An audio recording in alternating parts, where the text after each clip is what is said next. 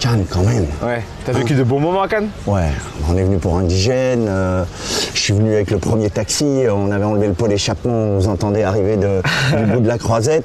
Non, c'est des super souvenirs, ouais. Ça restera toujours ancré, tu vois. Ouais, bah là, ça a fait le tour. C'est un peu euh, ce qu'on disait l'autre jour. J'en parlais avec des copains. C'est un peu comme Charles Aznavour. Il a, il a traversé les, les générations. Ouais.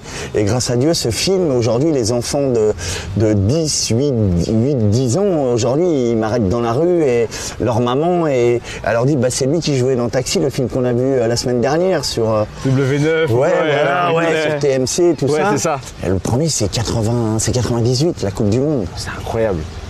C'est un film qui vieillit pas, mais est-ce que toi tu considères avoir vieilli? Ouais, sûr. Oui. Ouais Malheureusement, oui.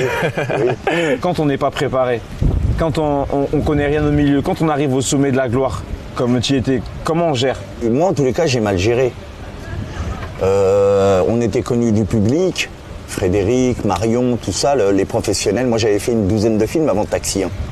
Donc, on était connus de la profession, les gens, ils savaient qu'on existait. Mais le public, non, euh, pas trop.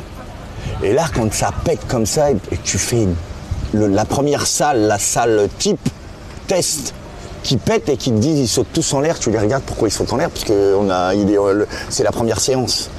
Bah, tu te dis que quand tu arrives à 12 millions, euh, ça te tombe dessus, et là, d'un coup, c'est, c'est une machine qui se met en route. Alors, euh, tu as les portes qui étaient fermées et qui commencent à s'ouvrir. Par exemple, j'allais au bain-douche à l'époque. Euh, je rentrais pas, moi et mes potes, on rentrait pas, on était interdits.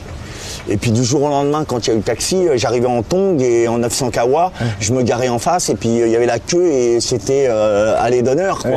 Donc il y a des trucs qui sont bizarres comme ça et puis moi tu, tu fais avec et puis après c'est vrai que euh, il faut être bien entouré.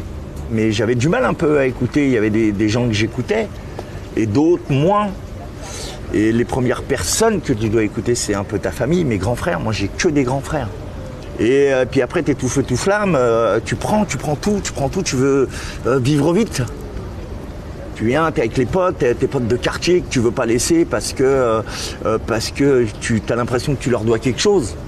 C'est tes potes, c'est toi qui dégaine la carte bleue. tu veux quoi Tac, tac. T'as acheté la dernière BM, tu leur prêtes, machin. Et puis et malheureusement, des fois, ça part en couille et, et c'est qui, qui en fait les frais Alors je rejette pas la faute, hein, c'est pas ça que je dis, je suis pas en train de faire pleurer dans les chaumières parce que. Mais puis qui c'est qui paye les pots cassés, c'est c'est toi. C'est sûr qu'avec le recul aujourd'hui, euh, euh, du haut de mes 60 piges, je me dis que euh, je me dis que si c'était à refaire, il y aurait plein de trucs, tu vois. Après, quand tu payes les pots cassés, il y en a plus beaucoup qui sont là. Mais bref, euh, c'est pas grave, c'est comme ça et je pense que euh, aujourd'hui j'ai 60, je dois être à 67, 68 films. Il y a eu des, des belles choses, puis je pense que j'ai encore des belles choses qui, qui arrivent quand même. Mais toute cette phase-là, en fait, que tu, que tu vis, tu la situes à peu près vers, vers quel âge où tu passes à, à tous ces moments-là où vraiment tu, on va dire, la descente aux enfers, la rançon de la gloire, quoi. Ouais. Euh, ben, c'est dans les. euh, quand on est arrivé à Taxi. Taxi 3. Taxi 2, Taxi 3. Là, t'es au top, là. J'étais dans les années euh, 2000, de 2000 à.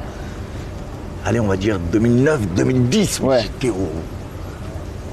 Laisse tomber, c'est- un truc de fou. C'est là où vraiment c'est le moment en fait où tu étais au summum et c'est là que ça a vrillé. C'est quoi le moment où tu sens vraiment que là vraiment par contre tu as touché le fond? Bah, c'est quand tu quand tu t'aperçois qu'à un moment donné, tu as des, des légendes qui sortent. Euh, ouais, mais alors si on fait une séance photo ensemble, bah, tu plantes pas, hein, tu viens hein, pour le rendez-vous. Non, parce que l'autre il a dit que ceci, que ce. Un fou, toi. C'est mon métier. Comment ça, je vais pas venir? Aujourd'hui, euh, euh, à 60 ans, tu te dis, euh, bah, tu besoin de tes deux jambes, tu as besoin de ton souffle, parce que la prise, tu l'as refait euh, 200 fois. Et enco- encore plus aujourd'hui, à 60 ans, tu te dis qu'il faut avoir une vie super saine, une vie clean. Ça fait 5 piges que je bois plus d'alcool. Ça fait euh, 10 piges que je fume pas une cigarette. Comment tu t'en relèves de tout ça?